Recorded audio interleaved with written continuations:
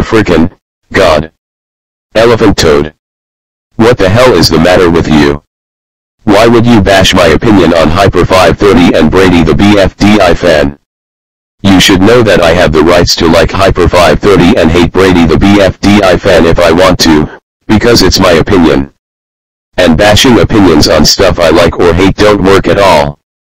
You better stop bashing my opinions on stuff I like or hate, else I will hate you even more for that. End of exposing video.